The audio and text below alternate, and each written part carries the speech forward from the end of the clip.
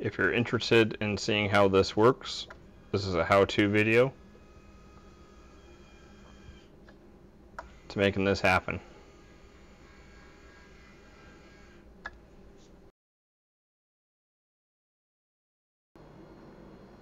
In this video, I'm featuring a 1978 Evinrude 6 horsepower, but pretty much any 6 horsepower with this type of linkage will work for this application. The key component to this build is this unit right here. It's called a linear actuator. This has a 2 inch throw on it uh, I picked it off of Amazon for about 45 bucks. Now this is not a plug and play ready to go bolt on kit. You are going to have to build some of this yourself. First thing I had to do was modify this arm from stock. Originally off of this plate here there's a bit of a nub that sticks up I ground that nub flat flush with this plate here and then I drilled a hole through the plate where the nub used to exist. I needed the threads to mount this actuator to. I ran a bolt through there. I've got a nut on the back side of that so essentially I have a stud running through this. I've got a piece of old fuel line here just kind of as a anti-vibration component and then I jam nut the top of this so that it doesn't come apart. The other half of the bracket I made I made out of a piece of angle iron and drilled some holes that actually mate with holes that are already in this unit here. Again, I welded a bolt on the end of this angle iron. I have an old fuel line as an anti-vibration component. This is the linear actuator. Essentially made a stud all the way through that and a jam nut on either side of that to keep that all locked down. Now this is a 2 inch linear actuator which means it has 2 inches of throw here. Because of my positioning here where my mounting point is at to here I actually only have 1 and 5 eighths length of throw before I run out of throw in the linkage for the motor.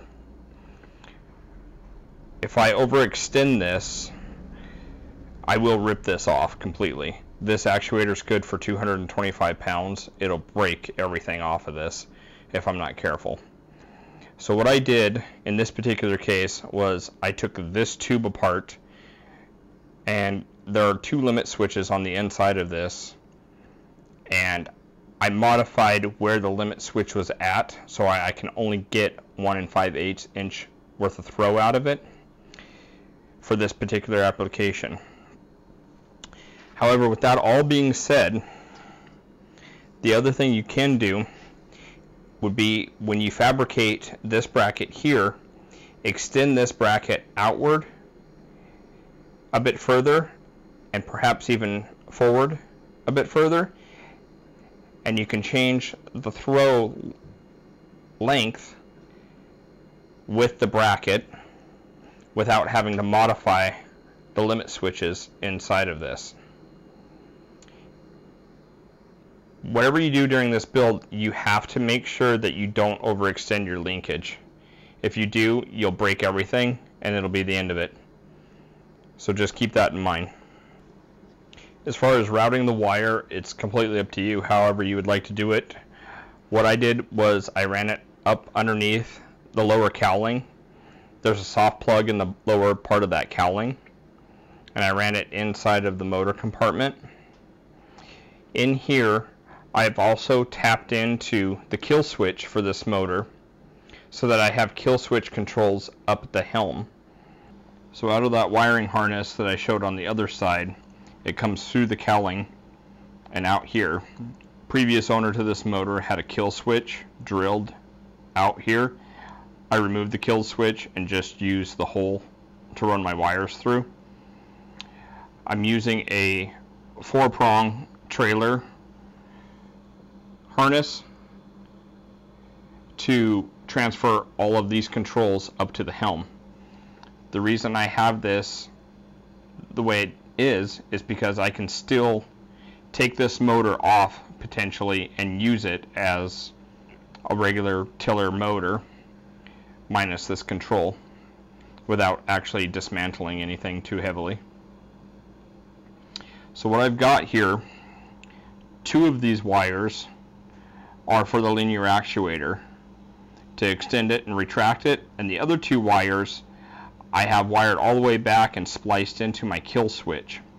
Therefore, I have my kill switch up at the helm. The idea being that if I'm trolling and I snag something up at the helm, I can kill the motor and stop everything. In this part of the video, I'm going to show you how to disassemble this linear actuator. I don't know if all linear actuators are going to be put together the same way. I will put a link to this particular actuator in the descriptions. So when we get started here, I've already taken out the screws so I don't bore you guys to death. But there's a screw here, here, one here, and one here. I've already removed these.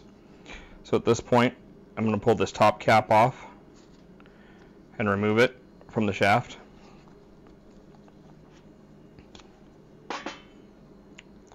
At this point, inside of here, be kind of careful because there's a bunch of limit switches and linkage. Now, originally, this piece of plastic here, this tab coming off of here, is what hits these two limit switches and limits its range. What I've done here is I drilled and screwed in a screw on the tip of that limit switch stopper there so that that limit switch hits that screw before it hits this plastic. This was a 2 inch linear actuator.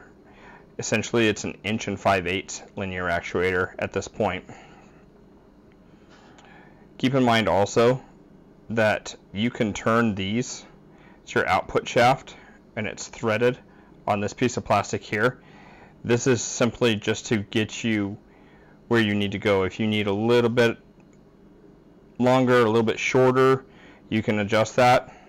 But these limit switches are what determine your range on here. So to put it back all together, it's the same as it was taking it apart. I'm going to slide this cover back over everything and once that cover's on I'm going to slide this cap back on and tighten everything down. It's worth it to note that I've taken this lower part apart. There's uh, gears in here. Transfer the power from the motor through a set of gears up this drive shaft.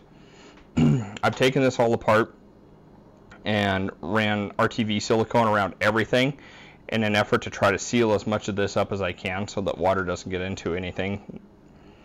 Uh, I've been running this linear actuator for four years now, and I run it hard during fishing season. Uh, this is the first time I've had it apart in four years, and I don't have any water coming out of it. There's, you know, this has still got grease on the shaft. Everything looks pretty good. So, so far, four years, $45 actuator. I'm pretty happy with it. And when you go to install this, you're not going to have the clearance for this motor to rest in there like that. This motor has to be outside of the motor. Once you get your brackets all built and put in place, you'll want to mount this, but you'll want the actuator to its furthest reach that the limit switches in here will allow. And you will want your throttle maxed out. And what we're doing here is we're setting this shaft depth so that we don't overextend our throttle linkage here and break things off. So what we're going to do is we're going to test it. Just kind of look at it here. And that is too far. I can get it back here, but I can't get it on here. So I'm going to turn this screw in a few turns until I can get that to rest in there and nest nicely. So what this does for me is this actuator, because of the limit switches, cannot extend any further. The throttle right now is as far out as it can go. So that keeps me from breaking any linkage. At this point, I'll go ahead and put all my hardware back on here and bolt it into place. Also, I've tucked the wire down and underneath. Doesn't matter. You could go up and over the top if you'd like. Your preference. Once you've got your unit completely mounted and you're pretty happy with it, I would strongly suggest hanging out back here and getting your buddy or your kids or somebody to go run the controls up at the helm. Carefully extend this out when you get close to your limit just have them kind of bump the trigger. Make sure it can extend all the way out as far as it needs to and come back as far as it needs to without binding anything. That's kind of the beauty of using a screw inside on that limit switch. It's because if it needs to be adjusted, I can get back inside here and turn it in or out, which would effectively change the throw of the linkage for the actuator. Um, if it is binding at all, just keep tinkering with it a little bit between turning this screw and messing with that limit switch screw that I installed. You can dial this thing in to where this thing will only run the length of the throw that you need for this motor. Alright, we are up here at the helm. This switch and this switch control that kicker. This switch is just an on-off and it is tied directly into the kill switch on the motor. Doesn't matter which direction you wire those wires in from here to the wires in the kill switch and the motor. This is just a ground, but it's grounded back through itself. I actually ran wires all the way from this switch all the way back to that motor and that four plug-in trailer hitch wiring harness. This switch here is a different story. This is on, off, on. This is called a momentary switch. When it goes up, it's spring loaded, comes back to zero, neutral, down, springs back up. So on, off, on. I'm going to show you guys how to wire this with a linear actuator, but I'm not going to do it underneath the dash because you guys won't be able to see anything what, what's going on. Now here's the wiring diagram for our switch and this is our switch. Notice how it has six lugs on the back. Now this is called a double throw, double pull switch. You can get these in different versions.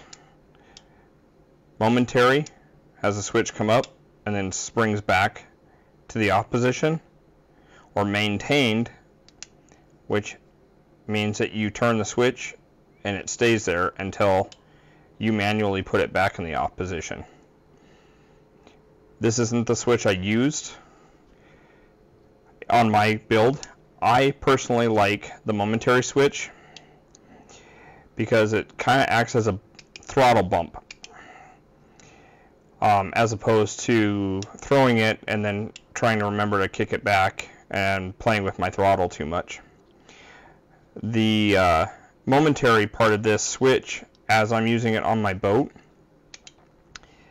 When I flick it like that, I get about 0.2 mile an hour difference every time I bump it. So 0.2, 0.4, 0.6. It's about how sensitive it is for changing the throttle on that motor. It's up to you, your preference whichever which way you want to go. Momentary is the way I went, but either way, the wiring diagram for this switch will be the same. Feel free to screenshot this for later use. But what we've got is on the back of this switch, the six lugs, we've got our positive coming in to our top lug. What we're going to do is also run a jumper from this onto this terminal here, from here to here. On the other side we have a negative and it's the same thing. We're running it into this top left corner and then we're going to jump it to here. So we're running in and we're going to jump it to this corner. Now on this lug here, this is going to go out to the positive side of the wire on the actuator or the red wire coming out of the actuator for this side. This side is coming out to the negative side or the black wire on your actuator. Feel free to take a screenshot.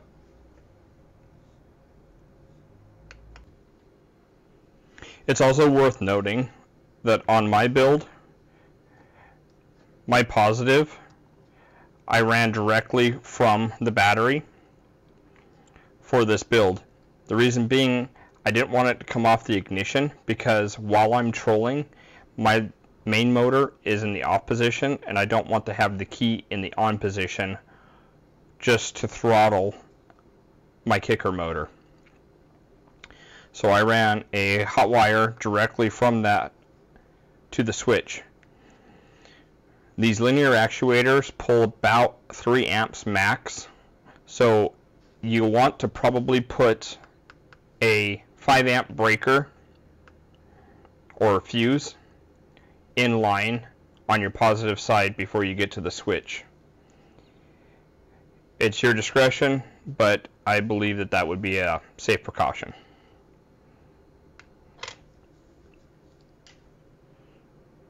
Now for the kill switch, the back of the switch will only have two prongs here and here. It's a simple on-off switch. That's it. When you flip the switch, it makes a connection between these two points. When it's in the off position, you have no connection. We're just going to run these wires right out and splice them right into the kill switch wires on the motor.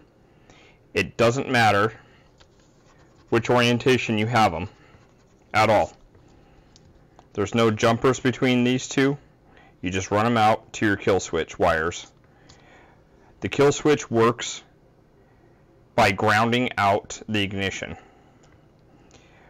as soon as these two points come in contact, either via the switch here or the switch on the motor, it grounds out the ignition system and it shuts it off. That's why there's no polarity here. It doesn't matter. So don't get too hung up on that. Now to complete this build, I have a steering link connecting my main motor to my kicker so from the helm position, I can control the throttle up and down. I can control when the motor turns off. And I just use my helm to steer my kicker while I'm driving it. The only thing I need to come back here for at this point is to pull the start rope to begin fishing. I hope this helps someone. Hope you enjoy it. Thank you for your time.